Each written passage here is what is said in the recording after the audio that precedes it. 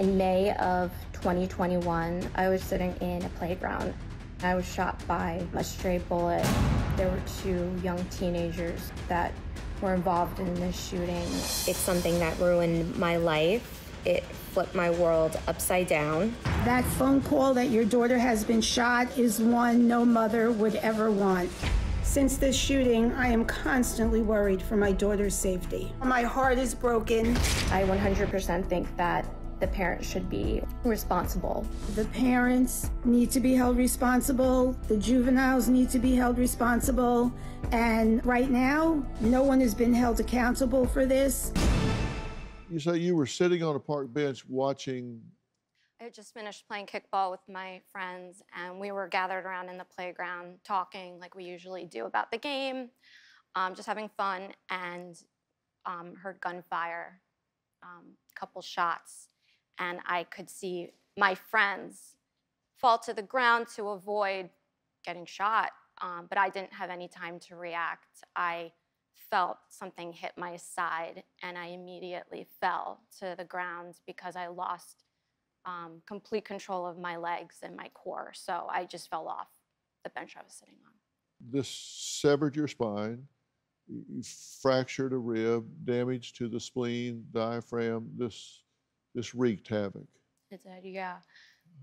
I lost uh, complete motor and sensory control. I can't feel anything from my waist down.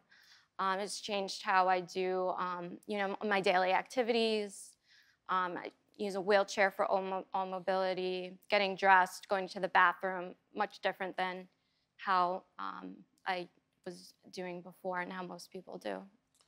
And you say nobody else's life has changed as a function of this? No shooter, no parents of shooter, nobody has no, there's been no uh, resolution as far as Amanda's case through the justice system. Um, they have an idea, but they can't prosecute anybody. Would it help you if someone was brought to justice on this? I think that it would it would help me. Um, and when we talk about justice, to me, it's more than just slapping a fine or putting somebody in jail. What's important to me is if the individuals, these teens involved, the parents of those involved, um, the repercussions were to get involved in more educational type things, go to classes, as, as you mentioned, um, you know, the couple had gone to class, um, getting involved in interventions for children, um, for after school programs, getting involved in community action, I think would be something that would be, feel really important to me.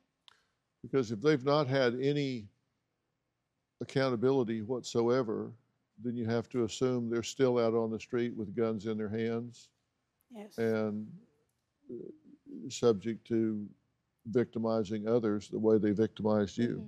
And influencing others to do the same, friends. Yeah. Yeah, uh, uh, unbelievable. Unbelievable. Do you have a story or a question for me? Click the link in the description and tell me what in the world is going on.